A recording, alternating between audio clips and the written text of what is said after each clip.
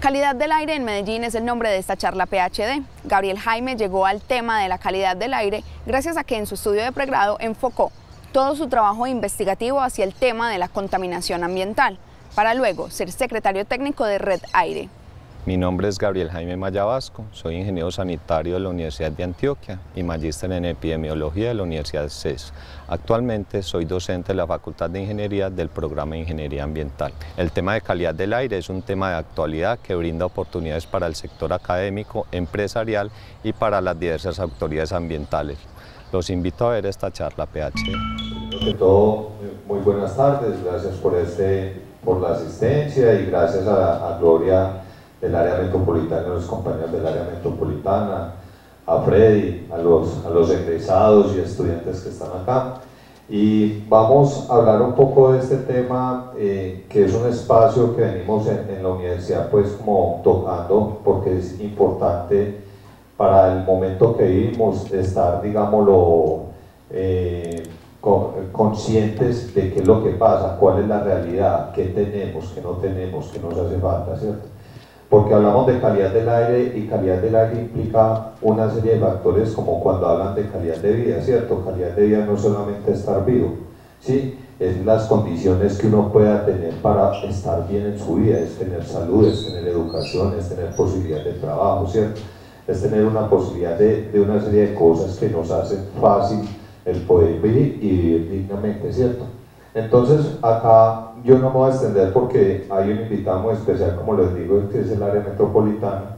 Aún no ha llegado el municipio de Medellín, esperemos que, que pueda llegar. Y, y, una visión muy importante que es desde la parte social, ¿cierto? Pues con el profesor Frey. Entonces vamos a ver como algunos elementos, vamos a pasarla, algunos elementos eh, de por qué se origina la contaminación atmosférica, ¿sí? Entonces, acá en la gráfica vemos o que o queríamos mostrar, salió muy clara de pronto, es el crecimiento del municipio de Medellín por allá de los años 1910, ¿cierto? Y vemos que es un crecimiento en el tiempo que va, se va desbordando, ¿cierto? Y va ocupando las laderas. ¿Por qué este crecimiento? ¿Qué implica este crecimiento? Este crecimiento implica la demanda de servicios la demanda de nosotros de poder transportarnos, de movilizarnos, del vestir, del comer, de, divertirnos. Y eso demanda una presión en el territorio y una serie de elementos que han conjugado, digámoslo, una situación específica, pero que esta situación, digámoslo, desde hace unas décadas ya se viene preparando y se viene estudiando al respecto. ¿sí? Entonces, por acá, esta es una imagen del año 2010 del Valle Laboral. 2010, ¿cierto? Pasemos, por favor. El tema urbano. El tema urbano es muy importante acá. ¿Por qué? Porque definitivamente no podemos ver el municipio de Medellín solamente como, digámoslo, un componente del área metropolitana. Esto es un problema a nivel metropolitano, esto es un, algo que exige soluciones metropolitanas y no trabajar aisladamente para poder tener una solución a lo que hemos llegado es una presión de nosotros mismos y una responsabilidad que todos tenemos. Acá es lo mismo, todos tenemos una responsabilidad y unos deberes, ¿cierto?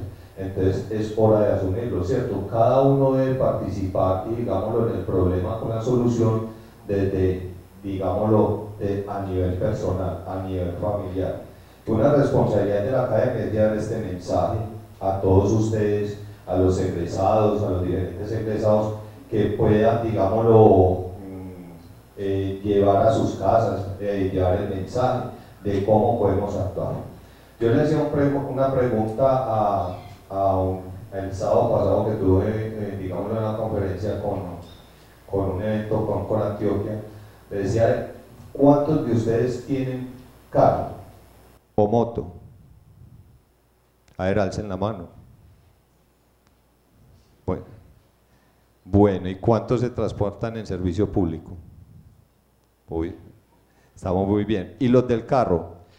Eh, ¿Conocen muy bien qué carro tienen ustedes? ¿O ustedes estarían dispuestos a pagar por ese mismo carro una cantidad de dinero mayor si tiene algún componente que ayude a la calidad del aire. ¿Cuántos están dispuestos de los que alzaron la mano a aportar? Uno, dos, tres, pero porque alzó la compañera, ¿cierto? Entonces, esto es un tema importante porque acá viene un tema de responsabilidad, ¿cierto? Acá viene un tema de responsabilidad. El tema urbano es muy importante para nosotros, ¿cierto? ¿Por qué? Porque es que acá es donde se generan las problemáticas, las problemáticas que vienen creciendo. Afortunadamente ya hay unas visiones de nuestras autoridades ambientales de consolidar, digámoslo, el área en, una región y con una planificación. Eso se viene trabajando hace años. Pasemos, por favor. Quedaron muy grave. Esto es otra gráfica, digámoslo, del área metropolitana pero empieza de un trabajo que se hizo el Plan Bio 2030, donde se muestra el crecimiento urbano, digámoslo, del área metropolitana, donde tenemos, digámoslo, unas zonas que hay, digámoslo, de, ocupación de vivienda, digámoslo, no en las mejores condiciones, eh, de unos sectores mineros, pero miren, viendo esta como la periferia, todo lo que estamos ocupando, ¿cierto? y que es cosas, eh, y le vamos robando espacio, digámoslo, a lo natural y se vienen, digámoslo, incrementando los problemas. Acá como el agua todo es integrado, ¿sí? O sea, lo, la pérdida del espacio natural, de los entornos naturales, el tema de la erosión, el tema de la, eh, de la población, ¿sí? Todo esto ser una parte de la problemática de lo que es hoy eh, la problemática de calidad del aire. Pasémoslo. El patrón de ocupación está desbordado, está desbordado. Ya los terrenos que digamos lo que se podían ocupar, eh, eh, los, los mejores terrenos están ocupados, pero hay la necesidad de vivienda, ¿cierto? Entonces venimos construyendo de una manera exagerada y ocupando unos espacios que, que, que son, de, digámoslo, naturales, o sea, que le, le debemos respetar a la naturaleza. Pasemos. Y traigo a colación, digámoslo presente, este tema, que yo quisiera que lo leyeran, y esta es la historia, digámoslo, del tranvía de Ayacucho. ¿sí? El tranvía de Ayacucho. Es un tranvía que iba hasta el municipio de Envigado. No sé, alcen la mano quienes conocían la historia o, o este tema del tranvía de Ayacucho. El profesor eh, conocía este tranvía, de pronto nos puede complementar. Pero acá hay un mensaje claro, mire, era una solución de movilidad que unía, o sea, eh, daba la solución a varios municipios y que viene desde 1925 y la presión, digámoslo, por los autos, por la gasolina, lo acabaron, pero hoy, hoy en día es una solución que se demanda. ¿Cuánto vale esta solución a, pesos de hoy para la área metropolitana o para los municipios? Entonces, ¿por qué se perdió esa idea? ¿Por qué se perdió, cierto? ¿Estaba la infraestructura, digámoslo, preparada para eso? ¿O era que nuestros antiguos dirigentes tenían una visión, digámoslo, tan futurista y que planificaron este territorio así? ¿Por qué se ha perdido esa planificación, cierto? ¿O tenían una visión de región y una, una visión individual? Miren ahora los conflictos que se ha generado por llevar una solución integral, por ejemplo, hasta el municipio de Envigado, ¿cierto? ¿Qué conllevó eso? ¿sí? Entonces, yo pienso que creo que de pronto esa visión que tenían nuestros dirigentes antiguamente tenía más visión de región ahora que cualquier situación individual y particular. Pasemos la... Y miren, esto es el tranvía de Ayacucho en ese tiempo y este es el de hoy. ¿sí? ¿Qué encuentran ustedes? ¿Qué encuentran ustedes? Esta solución no solamente está en el, en el área metropolitana, en Bogotá también, digámoslo, teníamos ese tipo de soluciones. Y digamos lo que es un tema en el cual estamos enfocados hoy en día, que es el tema del transporte, ¿cierto? Como uno de los principales contribuyentes a la calidad del aire, eh, digámoslo, o al deterioro del aire en la ciudad de Medellín y el área metropolitana. Pero estas soluciones, miren, a qué costo se han implementado y son necesarias y es lo que tenemos que fomentar, volver a hacer el transporte, digámoslo, confortable para poder viajar. ¿sí? Pasémosla. Y empezamos, digámoslo, con ese origen, con esa historia, a ver la situación mundial regional y local, ¿cierto?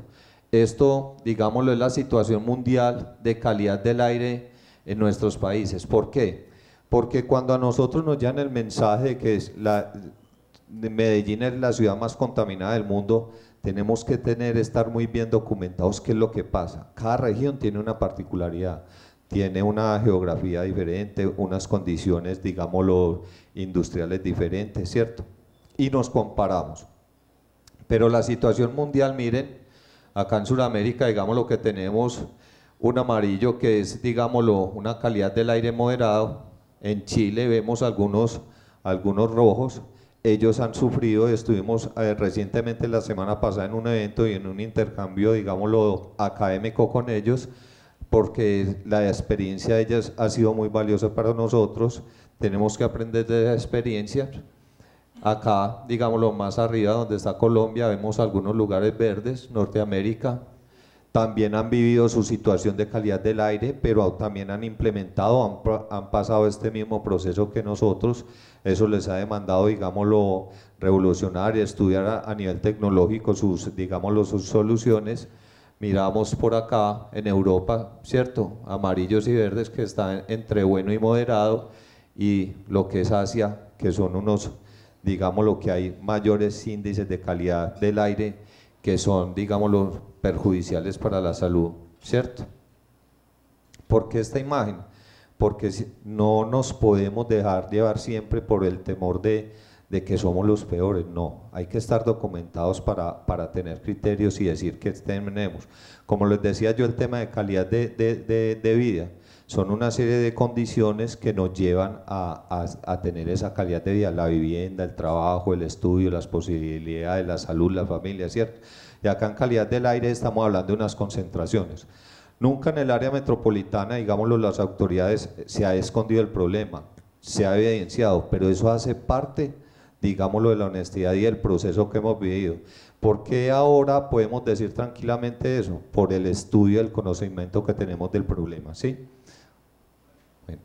Pasemos la y empezamos a ver una serie de información en internet que nos va saturando, no, definitivamente la calidad del aire es mala, estamos entre las 10, otros decimos que estamos entre los primeros 5, hay en, en diferente información que ni aparecemos en el tema de calidad del aire, entonces ese es el mensaje un poco de pronto a tener un poco de control o a documentarnos como eh, lo permite este espacio de decir si nosotros tenemos una mala calidad del aire o decir que somos los peores, no. O sea, hay unas situaciones especiales en el Valle de la Urra que las tenemos que entender, que ha habido un gran trabajo. Eh, pienso que todos conocen la información que se, se, lleva en el CIATA a través del área metropolitana. ¿Alguien no la conoce?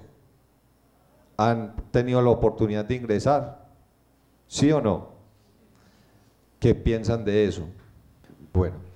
Yo eh, acá voy a, parar porque esta quería hacer la introducción porque me parece muy importante y invito a pasar acá a Gloria y a John Freddy y a los compañeros del área metropolitana, digámoslo como, como representantes de la autoridad y la academia, para que hablemos un poco acerca de lo que es la calidad del aire en el, en el área, cómo se ha vivido ese proceso en el área metropolitana, desde la parte social, cómo se ve el tema de, calidad del aire. Ah, ya Juan David de una vez lo invito a que pase, Juan David es de la Secretaría del Medio Ambiente del municipio de Medellín, bienvenido, muchas gracias por la asistencia. Y como se entra quedando eh, acá en el tema, vamos a entrar ya como en materia.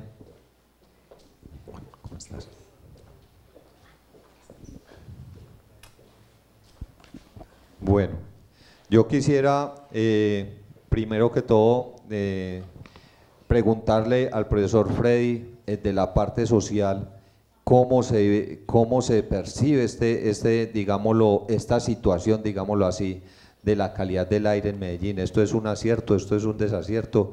Veía algo en la, en la presentación tuya que me llamó eh, la atención, pues, de, y sus desadaptaciones o desadaptaciones. ¿Qué, qué, qué quieres decir eso? ¿Cómo, ¿Cómo es ese tema? Una idea muy simple el problema, o sea, cuando tú dices los orígenes del problema de la contaminación atmosférica. Uno de los problemas que tiene la interdisciplina para quienes trabajamos en ciencias ambientales es que la interdisciplina nunca es suficiente. O sea, la interdisciplina siempre tiene limitaciones. Nunca consigues abarcar todas las áreas del conocimiento suficientes y siempre te va a quedar haciendo falta. Si aquí entre ustedes hay algún abogado y sobre todo un abogado ambiental, dirá, oye, mira, en los orígenes del problema de contaminación atmosférica hay un asunto regulatorio que falta, ¿cierto? Entonces, como siempre falta, yo voy con mi pedazo que falta respecto de los orígenes que tú identificas.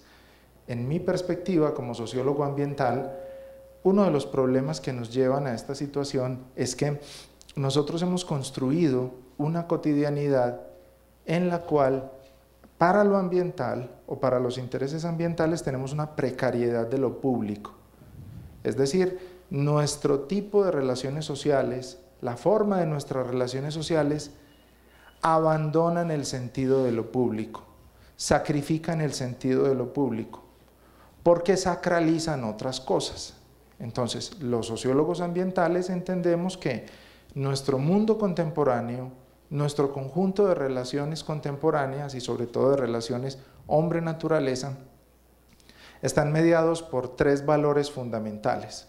Y eso empezó a ocurrir sobre todo después de la Segunda Guerra Mundial hacia acá.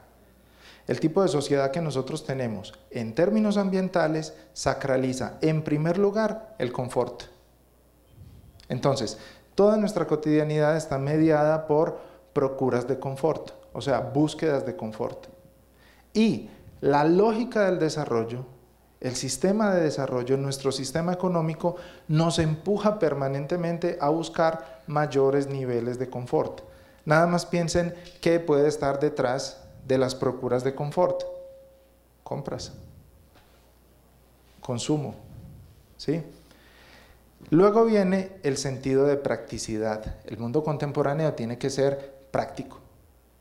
Nosotros tenemos que optimizar el tiempo, nosotros tenemos que optimizar la vida.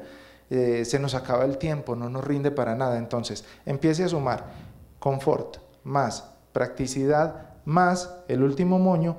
Nuestro sistema de relaciones sociales premia la individualidad sobre todo cuando empezamos a vivir de una manera más decidida en ciudades, que era lo que Gabriel Jaime mostraba ahí. Por eso es que mi presentación hubiese resultado bastante aburridora, mejor me pego de tus cosas. Entonces, cuando sumamos la vida en ciudades, la búsqueda de confort, la búsqueda de practicidad, empezamos a sobrellevar un tipo de existencia que privilegia el gusto personal, el gusto individual, y sobre todo las necesidades individuales. Ustedes dirán, este loco, ¿de qué está hablando si lo que vinimos fue a hablar de aire? Pues ya vamos para allá. Precisamente uno de los problemas que tenemos en este momento en una ciudad como Medellín, pero en general en todas las ciudades, del, eh, pues más que todo en las ciudades latinoamericanas o en la nuestra, pues que es la que más nos convoca, es que hemos resuelto, sobre todo en los últimos 20 años, resolver la eh, movilidad y resolver nuestras necesidades con soluciones individualizadas de transporte. Y es una ironía total. Somos la ciudad más destacada en materia de sistema integrado de transporte masivo en Colombia. Seguimos siendo la primera ciudad colombiana con metro, con un metro eléctrico además. Seguimos siendo la primera ciudad colombiana que integra metro con tranvía, con Metro Plus, con cables y ahora con sistema de bicicletas, lo cual nos quiere decir lo opuesto a lo que estoy diciendo, es decir, todo aquello es público. Pero ¿cuánta gente consigue desplazar ese sistema? Al menos un millón de viajes, un millón doscientos mil viajes por día. Ojo, viajes, no personas, viajes. Cuando usted tiene un sistema que mueve más o menos 1.200.000 viajes por día, eso quizá le puede dar unas 600.000 o con suerte 700.000 personas por día en un valle que tiene 4 millones de personas. Es decir, tenemos un sistema que es muy eh, bueno en el contexto colombiano, pero en tanto podamos resolver individualmente la movilidad, la resolvemos. Pregunta, ya que Gabriel Jaime estaba haciendo preguntas. ¿Cuántos de ustedes no consideran? ¿Cuántos de ustedes no consideran que la tenencia de un vehículo particular es un símbolo de estatus. Más vale que no levanten. Gloria, Gloria si considera. Tener un vehículo particular en el contexto de nuestra sociedad, de nuestra lógica social, un vehículo particular es aspiracional. Mm. O sea, un vehículo particular te gradúa como ciudadano, pero además te otorga libertad, pero además te otorga confort, te permite además lidiar el tráfico, subes las ventanas, enciendes el aire acondicionado, pones la música que quieras, nadie me jodió. ¿Sí? Fui de un lugar a otro con total libertad, si quiero salir a las 8 de la mañana, salí a las 8 de la mañana sin problemas. Y si perteneces a una clase social más eh, baja, por decirlo así, eso me aterra como sociólogo, pero bueno, ya está, pues te consigues una moto, una moto también te libera la vida, te libera del tráfico, te libera de llegar a tiempo, etc. Entonces, pienso que una de las raíces fundamentales del problema de movilidad de la ciudad de Medellín tiene que ver con la sacralización de lo privado. Tiene que ver con el hecho de que hemos ido construyendo una lógica según la cual lo privado está bien y están mis deseos por encima del resto. O dolor de la vida cuando en esta ciudad eh, hay que poner restricciones a la movilidad individual precisamente por causa del el día sin carro o por causa de un pico y placa ambiental. Nada más uno lo escucha aquí entre colegas de la Universidad de Medellín, hijo de madre, pero ¿cómo es posible que, hagan esa restricción tanta? Y entonces yo qué voy a hacer? Y resulta que a esta universidad la mayoría de personas que entran en vehículo particular lo hacen tan solo con el conductor. Y la mayoría de vehículos que ruedan en el Valle de la Burra ruedan solo con su conductor coches de cinco plazas. Eso no tiene sentido alguno. Entonces, una de las maneras de empezar a entender nuestros problemas de contaminación atmosférica y mirar hacia el futuro es cómo vamos a hacer para restaurar el sentido de lo público en nuestra cotidianidad. Dejo esa pregunta abierta para que continuemos. Bueno, Freddy, sobre eso. me parece importante algo que hablaba Freddy acá, y, y acá le doy el paso a Gloria, porque hablamos de consumismo, hablamos de movilidad. Pero también es importante que Gloria nos cuente de cuál ha sido la trayectoria, por ejemplo, del área metropolitana para llegar al punto que está, porque eh, definitivamente esto no es de decir yo pienso, estoy seriamente convencido con el trabajo y con la oportunidad que tuve eh, la semana pasada de asistir, que estamos muy preparados, Gloria. ¿Por qué no nos cuentas ese tema, hace cuánto venimos trabajando en el tema de calidad, porque la gente de pronto tiene percepción, no, es que esto, se, esto fue ayer, esto fue un día, la solución la se No, yo pienso, eh, acá está Gloria Ramírez del área metropolitana, ella es una persona que ya, Gloria, eh, no, no decimos edad, pero cuántos años más o menos trabajando en, en, este tema de calidad del aire con todas las universidades, más o menos... Eh, desde 1998. Entonces, Gloria, también en el tema de consumismo y, Juan David han trabajado juntos de la mano, digámoslo acá, se unieron muchas entidades para trabajar, pero entonces démosle a paso a, Gloria para que nos cuente un poco este proceso y de lo que se tiene en el actual momento. Así, muchas gracias pues por la invitación. Fundamental lo que acaba de decir el profesor yo creo que sí, dio con el origen del problema. El origen del problema tiene todo que ver con la forma como nosotros nos movemos en el territorio, con la forma como, como, como, como nos adaptamos al territorio, cómo consumimos. Entonces, la solución de este problema tiene que, ser, tiene que llegar desde la mirada interna de cada uno de nosotros, desde, desde lo que hacemos cotidianamente y es importante que empecemos a reflexionar sobre qué queremos de este ambiente, que, que le pedimos un montón de cosas en las que nosotros hemos contribuido con nuestra, forma de, actuar en todos estos problemas. Entonces, fundamental pues el inicio de la charla pues, de este panel con el profesor, porque ese es, fundamentalmente lo que tenemos que trabajar, o sea, cómo repensarnos como personas y cómo repensarnos en nuestra, en nuestra forma de, de habitar el territorio. Bueno, entonces, eh, nosotros hicimos, tenemos un recorrido bastante amplio en el tema de calidad del aire y en nuestro principal acierto en el tema fue habernos juntado con las universidades. O sea, nosotros en 1998 hicimos el primer programa de protección y control de la calidad del aire, que fue nuestra carta de navegación para direccionar la gestión en este tema, y, y ese programa nos lo elaboraron la Universidad de Antioquia, la Universidad Bolivariana, y el Politécnico Jaime Sasakabi que se unieron para desarrollar el programa. El programa eh, fue, fue, nuestro principal, fue nuestra principal guía y nos orientó hacia el diseño de la red de monitoreo de calidad del aire, o sea, la necesidad de, de medir el recurso, la necesidad de actuar sobre la educación, sobre la cultura, sobre la autogestión, es decir, nos, nos sacó un poco del tema de que teníamos que controlar como autoridad ambiental las emisiones que se generan al, al ambiente y el, y el control de una norma, o sea, nos salimos del esquema de evaluar de, de, hacer una gestión a partir de verificar el cumplimiento de la norma y empezamos a trabajar otras estrategias desde los inicios, pues nosotros como autoridad ambiental.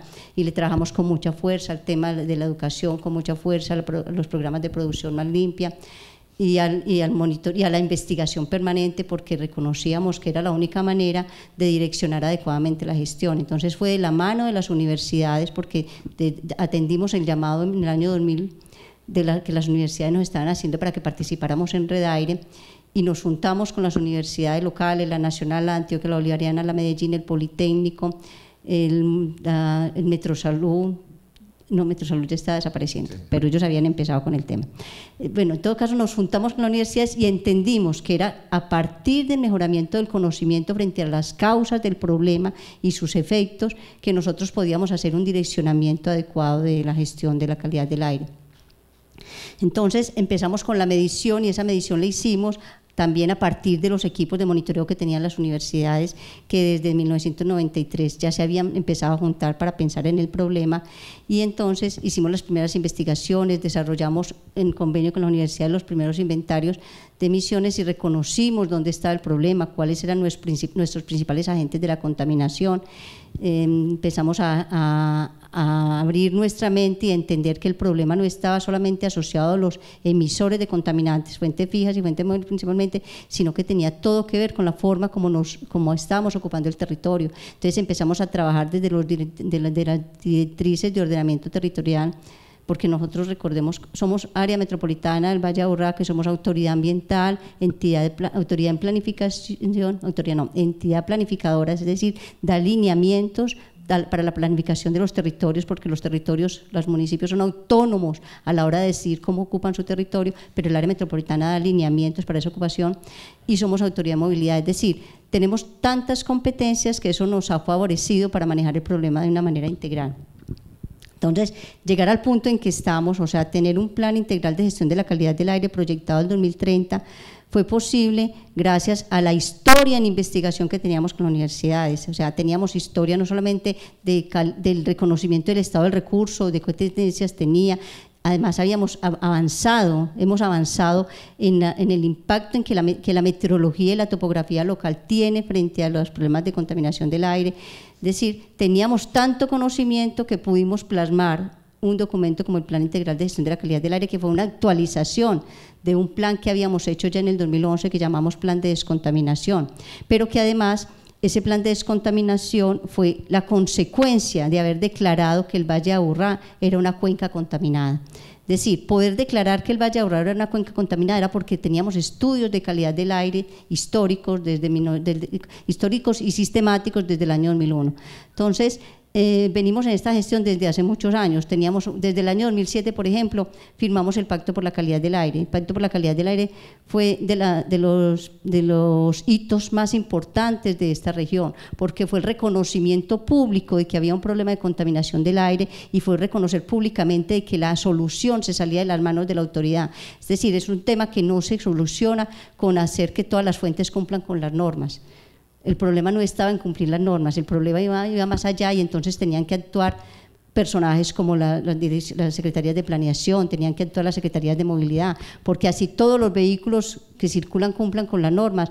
El problema de la emisión está en que no, no pueden circular a buena velocidad, que tienen que estar arrancando permanentemente, que el combustible no es el mejor, que la tecnología no es la mejor, que están en mal estado técnico-mecánico. Es decir, cumplir la norma no era una garantía. Y además porque cumplir la norma terminaba siendo muy fácil, termina siendo muy fácil, porque nosotros tenemos muchos problemas normativos, tenemos una norma desactualizada, tenemos unos procedimientos que no nos permiten verificar la emisión real del vehículo. Estamos en este momento gestionando ante el Ministerio de Medio Ambiente y el Ministerio de Transporte para que cambie la norma de verificación de las emisiones vehiculares, porque históricamente hemos, hemos trabajado con un mal procedimiento. Es decir, la norma no es ninguna garantía, por eso nosotros trabajamos con muchas estrategias y el Plan Integral de Gestión de la Calidad del Aire tiene 10 ejes temáticos y 5 ejes transversales. ¿Y por qué esos, esos ejes temáticos y esos ejes temáticos están enfocados a muchos temas. Entonces, hay un eje temático asociado a la investigación permanente, al reconocimiento del problema, al reconocimiento de las causas,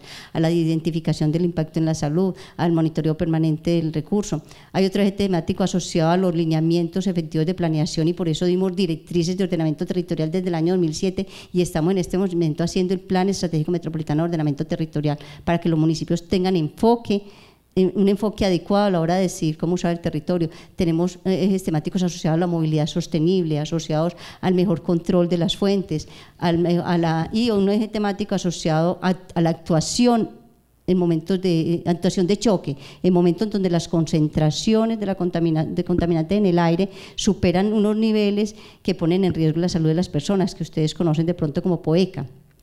Eso hace parte de ese plan integral de gestión de la calidad del aire.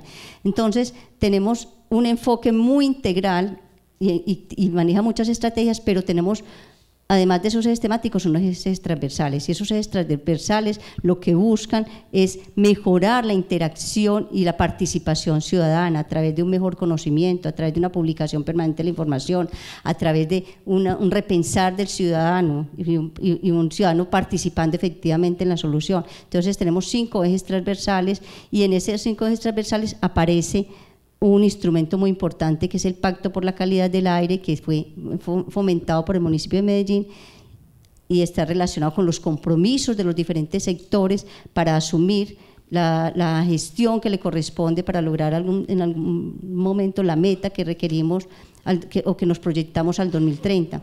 Entonces, eh, le voy a dar la palabra a Juan David para que no nos cansemos con la mía y porque Juan David puede hablarles de ese, de ese pacto y lo que ha venido, los compromisos que se generaron desde el pacto, desde los diferentes sectores y, y, cómo ese pacto también hace parte del, Plan Integral de de la Calidad del Aire, como un eje transversal de ese, de ese plan. Bueno, gracias Gloria y gracias a la universidad pues, por la invitación. Eh, un saludo muy especial de nuestro secretario de Medio Ambiente, Sergio Orozco, que no pudo venir, pero pues el tema es de trascendental importancia para la administración. Yo quiero empezar como la reflexión con este tema de la calidad del aire. Hay como un, un, conflicto de intereses cuando, y, de, y de derechos. Cuando las personas pues quieren comprar su vehículo su moto, pues ellos tienen un derecho constitucional también a su movilidad, a, su, pues a, ese confort, si su, su, capacidad económica se lo da. Pero también hay otro derecho que es el ambiente sano para todos, ¿cierto?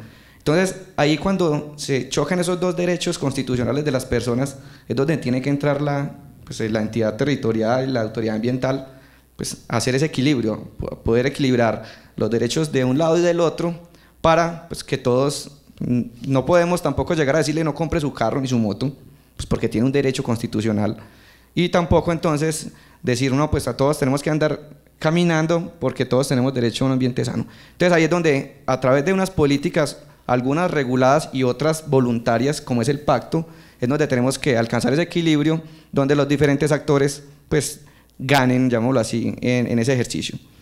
Eh, asociado al tema de, de la parte voluntaria, una estrategia pues del municipio del área metropolitana fue, venga, reconocemos la problemática que existe en la ciudad asociada a la calidad del aire, antes de que yo te imponga las obligaciones, ¿usted a qué se compromete? Ciudadano, estudiante, profesional, niño, adulto. ¿A qué se compromete usted hacia las problemáticas de la ciudad?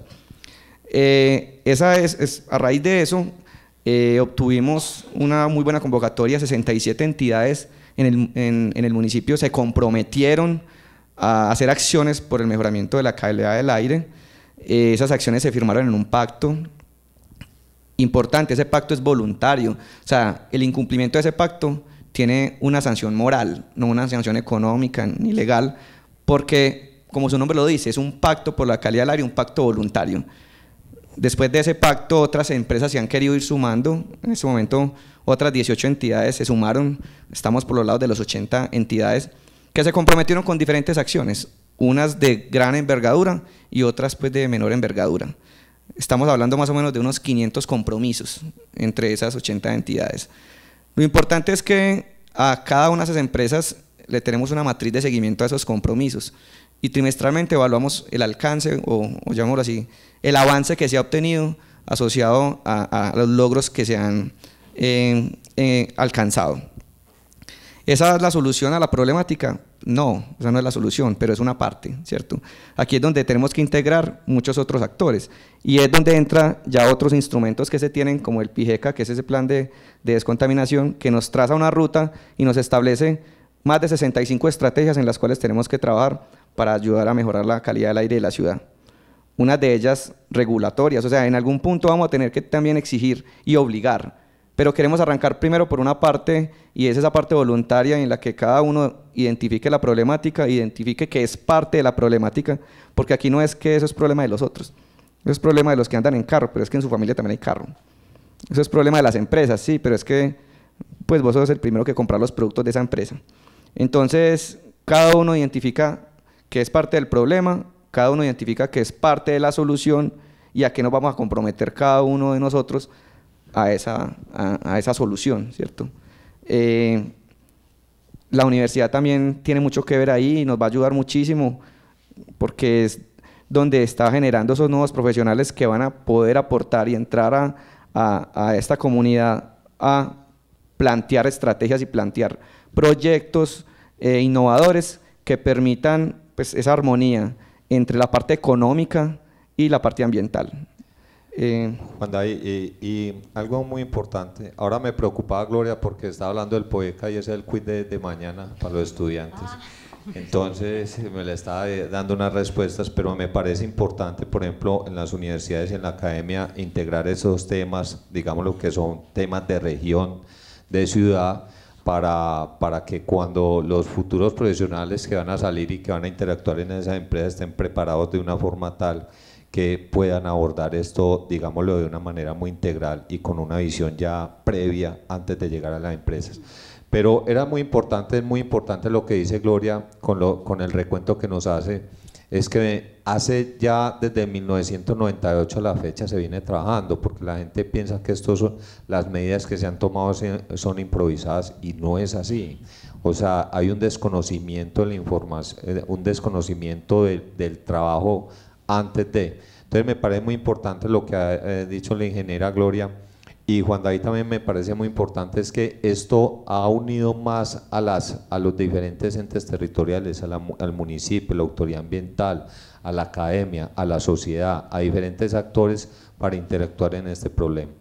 Si eh, yo le pregunto a, a los invitados que estaban acá, a los participantes, Definitivamente, si, si a usted les dije, eh, un ciudadano del común le dice, definitivamente estamos jodidos en calidad del aire, ¿qué le podríamos responder? Si, si, si sería esa, digamos, la afirmación de decir, estamos muy mal en calidad del aire.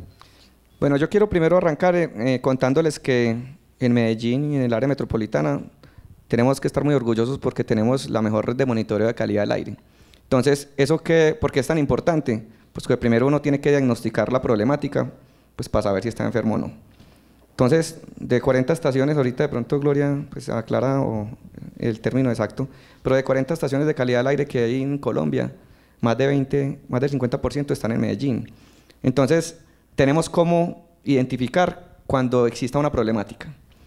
En dos épocas del año, pues bien saben de, no sé si eso también hace parte del examen. Sí. Pero en dos épocas del año eh, tenemos unas condiciones especiales por nuestro valle, ¿cierto? Porque es un valle encañonado.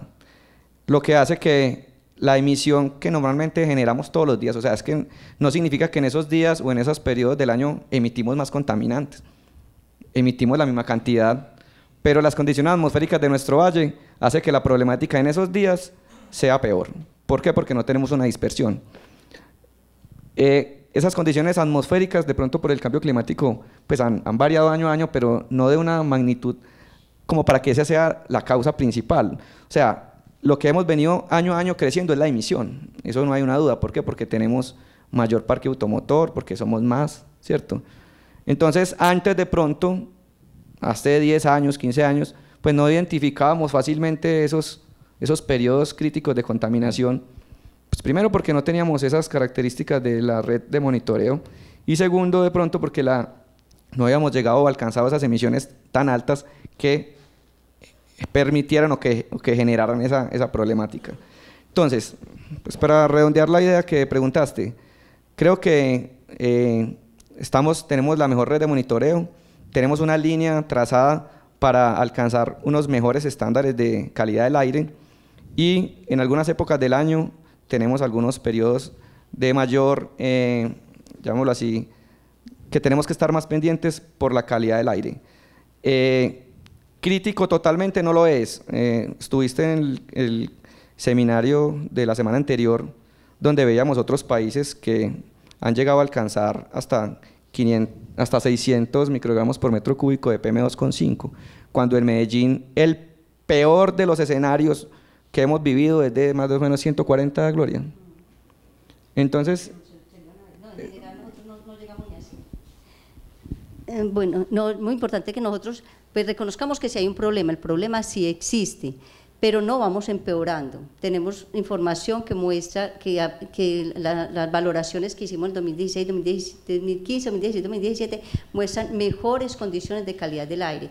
De hecho, las, eh, las estaciones de monitoreo, por ejemplo, el lunes, antes del día sin carro, mostraron varias estaciones en coloración verde pero nosotros no podemos pensar en que el día que se comportó bien hoy, que tenemos unas verdes, entonces que no, que es que no hay problema, que eso es pura bulla, no.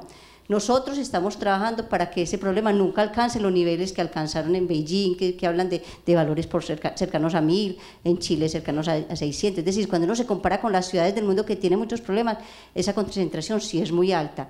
Pero nosotros nunca nos hemos comparado con las ciudades que tienen mayor problema. Nosotros siempre hemos tenido la responsabilidad de compararnos y de tener como referencia la Organización Mundial de la Salud. Entonces, con ese referente siempre nos hemos visto que tenemos que mejorar, siempre, siempre pensamos en que debemos mejorar y, nunca nos tranquilizamos y dejamos de actuar. Tenemos eh, una, una, ganancia que no la tiene el país. Entonces, cuando, cuando Juan les decía que el país tiene 40 monitores de PM2,5 y de esos el 22 monitores están en Valle Aburrá, eso es muy importante, porque dependiendo del parámetro que uno analice, identifica o no identifica el problema. Cuando el, cuando el país se movía con base en las partículas suspendidas totales, nosotros no teníamos problema. Cuando avanzamos al material particulado menor de 10 micras, o sea, en el 2010 más o menos, tampoco teníamos problema. De hecho, el PM10 no es un contaminante crítico o que nos muestre unas condiciones inadecuadas de calidad del aire. Nosotros nos movemos en casi tiempo moderadas con el PM10. Cuando avanzamos en el conocimiento del PM2,5 fue que identificamos el problema. Pero ¿quiénes en el país han avanzado en el monitoreo del PM2,5? No se cuentan más de cinco ciudades.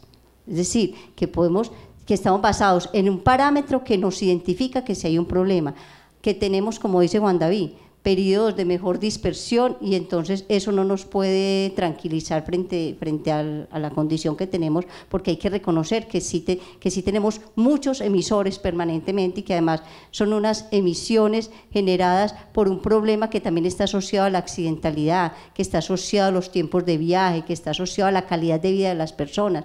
Entonces le seguimos trabajando a la movilidad como uno de los factores que más inciden en el problema. Así tengamos periodos en que la contaminación del aire no nos mueve muestre condiciones críticas. Y hay periodos en que, en que habiendo mucha emisión las condiciones de, y las condiciones de dispersión no siendo favorables, nos, llegan a tener que declarar una contingencia atmosférica, como la que nos ocurre a nosotros entre, entre febrero y abril y, y octubre y septiembre, noviembre. Entonces, Saber eso, por ejemplo, fue producto de investigaciones, donde la instrumentación que tiene esta, esta, esta región, que es una instrumentación que es modelo a nivel latinoamericano, tenemos a partir del proyecto CIATA, radares meteorológicos, perfiladores de viento. O sea, nosotros veníamos evaluando un problema de contaminación asociado a la meteorología, pero solamente basados en la velocidad y dirección de los vientos, y de ahí no nos movíamos. Pero tener en el, a través del proyecto CIATA la posibilidad de reconocer el perfil de temperaturas, cómo se comporta la capa límite de mezcla en el Valle de Aburrá, cómo, reconocer otras variables termodinámicas nos ayudó a nosotros a mejorar el conocimiento del comportamiento del PM2,5 en el Valle de Aburrá. Entonces tenemos una ganancia infinita, un conocimiento súper grande. Tenemos doctores en el tema de la dinámica atmosférica, como es el doctor Carlos Hoyos, que es el director del CIATA. Es decir, hay una ganancia técnica en conocimiento, en instrumentación y tenemos una carta de navegación que nos va a permitir sacar adelante el problema siempre y cuando los actores tengan un compromiso efectivo que no se quede en el papel y ese es nuestro mayor reto. Gloria Juan David, yo también quería hacer la anotación, es algo importante, es que nosotros nos hemos analizado con unas normas y unos valores más restrictivos que otras regiones del país y que eso nos ha llevado, pero el conocimiento, eh, y eso nos ha favorecido y es, y es de resaltar en la ciudad.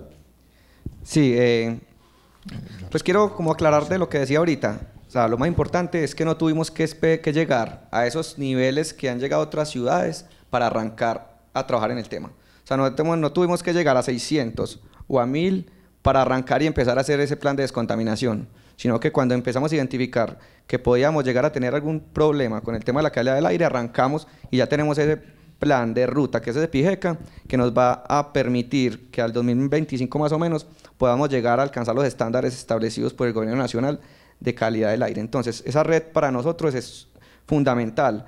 A mí me contaba, no, recuerdo quién me contó que un alcalde le dijo a nuestro alcalde Federico, vení, que ustedes, es verdad que ustedes tienen problemas de calidad del aire. Entonces él le dijo, vení, eh, ¿cuántas estaciones de monitoreo tienes en tu municipio? Y que, ah, no, es que no tengo ninguna. Entonces él le dijo, no, ¿sabes qué? Lo que pasa es que yo tengo diagnosticada la situación y puedo llegar a, determinar que en algunos momentos puedo tener eh, algún, alguna dificultad con el tema del aire. Vos ni siquiera sabes cómo estás. O sea, vos puedes estar peor que yo y ni siquiera lo sabes. Es como el que puede que esté enfermo y no va al médico. Entonces eso es lo más importante de, pues, que tenemos en este momento y es esa red que nos permite eh, en cualquier momento, pueden ustedes incluso descargar la aplicación del CIATA. No sé si quién, por ejemplo, tiene la aplicación del CIATA descargada en su celular. A ver, bueno, más o menos la mitad.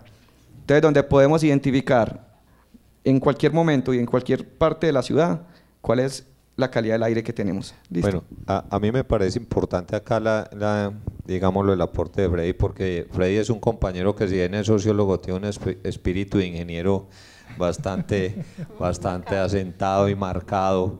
Él está en ese, entre esa sociología y esa ingeniería. Eh, Freddy, ¿cómo, ¿cómo percibís vos o cómo se percibe de la sociología o de la ciudad este tema? Eh, ¿Qué consideras? ¿Estamos mal? ¿Estamos jodidos? ¿Cómo se dice? ¿Qué pensás? ¿Cómo, ¿Cómo has visto el problema? Bueno, a decir verdad, mi, mi pelea no es tanto desde la sociología y, tampoco a esta altura de la vida no, no es que tenga mucha aspiración, pues con la ingeniería trabajo en el programa de ingeniería ambiental hace 14 años, pero no, mi postura es más desde las ciencias ambientales, eso es lo que he querido como remarcar, ¿cierto? Desde las ciencias ambientales como un lugar de anudación de, o de, enlace de una cantidad de disciplinas. Mira, la, tú haces una pregunta desde un ciudadano preocupado, ¿cierto? El ciudadano preocupado es, tenemos una condición crítica en la calidad del aire en Medellín. Mi respuesta como científico ambiental, ahí sí, es no, no tenemos un problema de un problema crítico de contaminación del aire en la ciudad de Medellín, por fortuna. Ahí va lo segundo. La ventaja de tener estos espacios en los cuales hay academia y también hay institucionalidad es que nos podemos decir las cosas tranquilamente porque tanto académicos como institucionalidad tenemos muy poca capacidad de autocrítica. Entonces yo percibo acá en la discursividad de la institucionalidad una baja capacidad de autocrítica. Y en esa capacidad de autocrítica yo lo que les planteo es lo siguiente. Ha faltado pedagogía para el posicionamiento público del problema. En primer lugar, en realidad tengo como seis puntos, espero no demorarme mucho. Ha faltado pedagogía para posicionar públicamente el problema. Tiene uno que embarcarse en una educación superior, en ciencias ambientales o en ingeniería ambiental, para que le suene el CIATA y para que tenga propensión a descargarlo en su celular y encima de eso para no enredarse con el verde, el amarillo, el naranja, el rojo y el púrpura. Claro, acá no hemos llegado a episodios púrpura, por supuesto, pero eh, yo he tratado mucho con mis estudiantes de ingeniería ambiental de todos los días decirles, ¿cómo amanecimos hoy? Verde, amarillo, naranja, ¿cierto? Como en un ejercicio de pedagogía, profe, ¿y eso qué significa? Mire, significa tal y tal cosa y mi materia no es de contaminación atmosférica.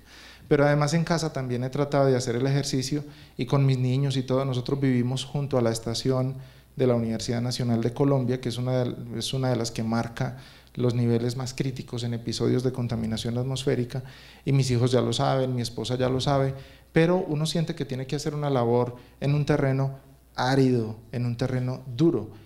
Tienen que existir formas desde la comunicación y la pedagogía de poder transmitir un mensaje sencillo, porque además no necesariamente un aire cargado de aerosoles, un aire cargado de partículas, es un aire con fuertes niveles de PM2,5 o de óxido nitroso.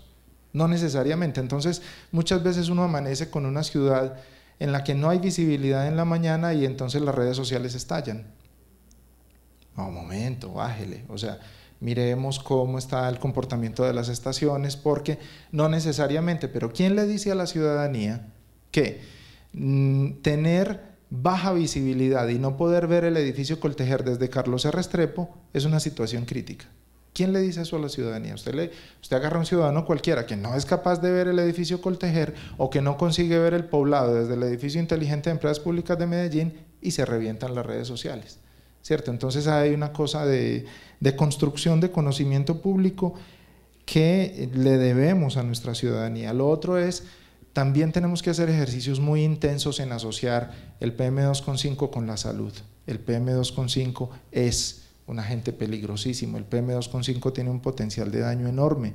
Y desde la epidemiología, pero también desde la actividad pública de divulgarlo con periodistas, con eh, educación, de llevarlo a las aulas, tenemos que ir ganando en la asociación de esas dos cosas. Es decir, realmente qué cuadros nos arroja eso. O sea, de qué manera se están afectando los niños, de qué manera se está afectando la población sensible, pero con números reales. O sea, en realidad, ¿nos estamos enfermando y muriendo por PM2,5? ¿Sí o no? Esa pregunta no la sabemos con certeza, ni tampoco en qué niveles. Y es necesario responderla porque tampoco podemos naturalizar, aquí voy con otro ejercicio de, de crítica, no podemos naturalizar que estar bien es estar con las estaciones en amarillo. Perdónenme, Aire aceptable son estaciones en verde. Discúlpenme. Y lo digo porque tengo un niño de nueve años que conoce todos los broncodilatadores habidos y por haber en el mercado. Si hay una familia que se volvió experta en asma, fuimos nosotros. Entonces, a mí, discúlpenme, como ciudadano, pero también como científico ambiental, no me vienen a decir que estamos bien porque las estaciones están en amarillo. Aire aceptable es aire en verde. Sin embargo, también es cierto que una ciudad con un valle cerrado, etcétera, etcétera, no puede aspirar a tener un aire con estaciones en verde los 365 días del año. Yo creo que también podemos estar de acuerdo fácilmente con eso. Pero no es sano hacia la ciudadanía que se lance el mensaje de que solamente nos colgamos de los cabellos cuando las estaciones tocan el rojo. Deberíamos lanzar una preocupación colectiva ya con las estaciones en amarillo, porque ahí es donde empieza el posicionamiento público del problema, pero sí desde la administración o desde la institucionalidad. Se nos dice que el amarillo es una cosa pasable, ok, explícaselo a mi hijo de nueve años. Bueno, otro asunto también es no naturalizar el problema en otro sentido, o sea, no podemos decir, hay que desescalar el lenguaje de que esta cosa es natural en marzo y en octubre. Discúlpenme, otra vez se me sale el científico ambiental, no es natural.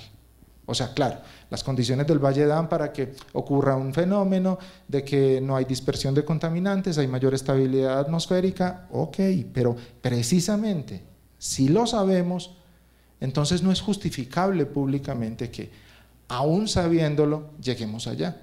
Es decir, si lo sabemos antes, todo lo contrario, saberlo nos da mayores herramientas para evitar llegar hasta allá. Luego, hace mal la administración municipal en decir que marzo y octubre son naturales. No es natural. Porque de hecho no es natural que lleguemos a los niveles que tenemos que llegar allí. Creo que podemos utilizar otros conceptos o otras nociones. O sea, creo que podemos estar de acuerdo en decir, marzo y octubre generan condiciones que nos pueden llevar a episodios críticos, no es que, no que porque la gente y créanmelo, soy también activista de movimientos ambientales de base, la gente se lo toma como que Bueno, como es un asunto natural, entonces de alguna forma esquiva la responsabilidad individual. Esa vaina de todas maneras se va a joder en marzo y en octubre, entonces, pues, o sea, si igual vamos a llegar allá, entonces no pasa nada, ¿cierto? Vamos a llegar allá de manera natural. No llegamos allá de manera natural. O sea, llegamos ahí porque hay una conjunción de factores. Listo. Y el otro asunto es, mm, tenemos que hacer prevalecer lo público. Eh, tú decías ahora una cosa y es, hay que respetar las garantías constitucionales, etcétera, etcétera. Sí, pero también existen ejercicios en el mundo que limitan esas libertades individuales y no estoy hablando precisamente de dictaduras, estoy hablando de una ciudad como Nueva York, por ejemplo, en Nueva York es dificilísimo tener un vehículo particular porque el conjunto de restricciones que la ciudad le pone al vehículo particular es tal que el ciudadano o se moviliza en público o se moviliza en público. ¿Sí? Ahora, ¿Quieres tener tu vehículo particular a toda costa? Ok, entonces tienes que pagar un parqueo de tal valor, tienes que someterte a una multa así y así. Mire, es incómodo decirlo, pero mm, se pueden conservar garantías individuales, se puede conservar la lógica del mercado, pero dando un mensaje muy claro, lo público está por encima de lo privado. Y eso no quiere decir la supresión de lo privado. Y eso también tiene que ver con que eh, la alcaldía haría muy bien en lanzar un mensaje que nos borre a ciertos ciudadanos de la mente que sectores como FENALCO o sectores como los eh, señores de la construcción o los comerciantes constriñen a la administración municipal cuando toma una decisión de restricción de la movilidad. Es decir, cuando FENALCO dice, ah, ah, ah, ah, ah no me inmovilice las volquetas, no me inmovilice los camiones. El rifirrafe que se teje entre ciertos sectores con intereses económicos y la administración municipal, a veces ante el ojo del ciudadano va perdiendo la administración municipal. Entonces, venga, aquí la agenda pública ambiental la dicta FENALCO. Tenemos que lanzar un mensaje muy claro de que la agenda pública ambiental no la dicta FENALCO. Es así de sencillo y en eso a la administración municipal le hace falta contundencia. Y ya está, pues se está haciendo la tarea en la transición de energéticos, eso no es un problema del municipio de Medellín, es un problema del país, por supuesto, y me parece que ahí lo ha hecho muy bien la alcaldía de Medellín, porque creo que la alcaldía de Medellín es la alcaldía en el país que más ha insistido para que Ecopetrol haga transición en sus eh, en los componentes pues que traen los combustibles y esa sin lugar a dudas es una decisión correcta. Como también es una decisión correcta promover la compra de taxis eléctricos, como también es una decisión correcta meter más MetroPlus con energía eléctrica, para que vean que también es con cariño. yo, yo quería como por cerrar, mirar eh, eh, lo valioso que son estos espacios y tener los diferentes actores acá y que es un tema complejo pero que a la vez yo podría decir que es un tema que se ha abordado desde la institución, desde la academia, desde la sociedad con una responsabilidad tal porque, porque se cree en ello. A mí especialmente me llena de orgullo saber, por ejemplo, eh, que muchas de estas instituciones, digámoslo con el conocimiento que tenemos, alguna pregunta que yo hacía era si éramos ya tendríamos la capacidad de, de poner normas o digámoslo proponer normas a nivel nacional y, la respuesta fue positiva y clara a decir sí por el conocimiento que se tiene. Y eso les digo que en otras regiones de Colombia no es posible. Hoy nosotros tenemos, y también ver a un profesor, digámoslo, a un componente, no, no un profesor ni una institución, que con el conocimiento debatir a, a, cierta autoridad, digámoslo a nivel nacional, decirle no, este no es el camino. Entonces yo pienso que hay tranquilidad y hay seguridad estamos en el tema de pedagogía, estamos en el tema de educación, estos espacios para esto. Entonces yo quisiera agradecerle a Juan David, a Gloria, eh, a Juan David de, la Secretaría del Medio Ambiente del municipio, a los compañeros también que veo que vienen del municipio, del área metropolitana, a los egresados y a los estudiantes, este espacio que, eh, debe, debe, repetirse y que este mensaje llegue a, sus familias y a sus casas porque de verdad que es de mucho interés. Quiero agradecerle entonces a, todos ustedes su, participación, su valioso tiempo acá en la academia y, poder contar con ustedes en una nueva oportunidad. La razón por la cual me gusta hablar de este tema es porque con mi conocimiento y experiencia puedo aportar y brindar oportunidades a solucionar una problemática nacional. Muchas gracias por estar con nosotros en esta charla PhD sobre calidad del aire en Medellín. Nos vemos en otra ocasión.